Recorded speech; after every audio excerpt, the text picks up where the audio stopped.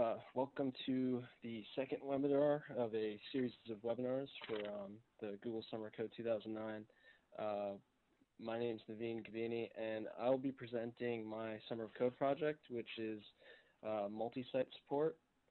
And um, so uh, to get started, I figured we'd talk about um, a little bit about the motivation for the project. Um, I think really the idea really came about um, when I was in school, and my university was kind of looking for a content management system that featured multi-site support. Uh, the reason for that was they wanted to share, you know, content, users, and data across multiple sites, um, but have it easy to administer the different websites and um, the content sharing. Um, the second motivation, I think, the biggest thing was uh, looking at the forums um, on Joomla.org uh, a lot of the users in the community, you know, talked about multi-site for years, and um, it's available in other content management systems, so it really should be available. Uh, an open source um, solution should be available in Joomla. Um, and there was a lot of talk, uh, a lot of different requests um, for different features to be shared, uh, such as users, content, um, components, modules. So there was a lot of talk on the forums. Uh, so it was a good um, idea for this summer. Uh, and the final reason is uh, I've been using Joomla for years uh, now, and um, and I really wanted to give back to the community um, because you know it's a great piece of software that I've used to make many many websites. Um, so a little bit about multi-site, uh, the project and the concept.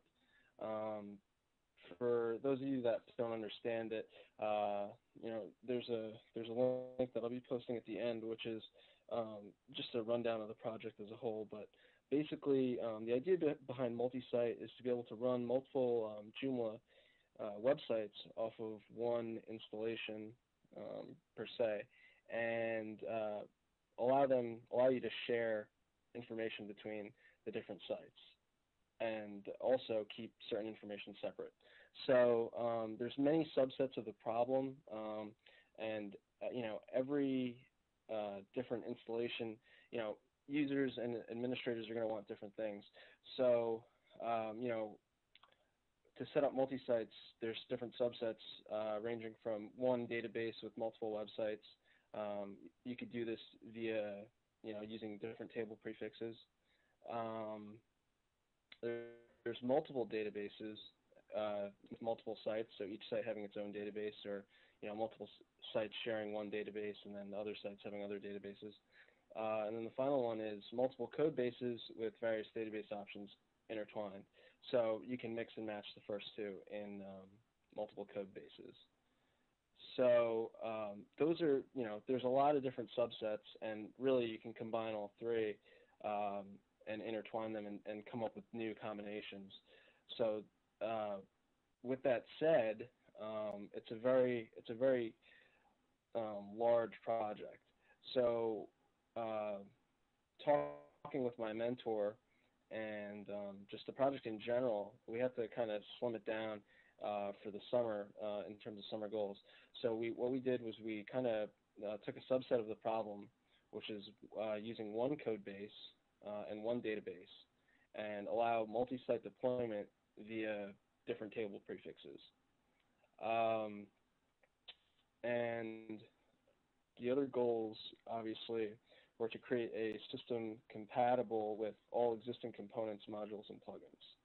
Um, and with the obvious overall goal to share users, sessions, modules, components, and content between sites.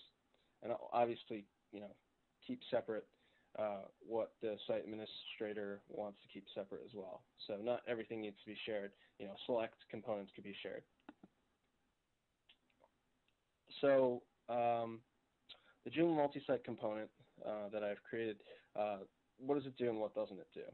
Because um, I think it's kind of clear to lay out what it can and cannot do. Um, basically, uh, all the things I just talked about, the goals we were able to achieve,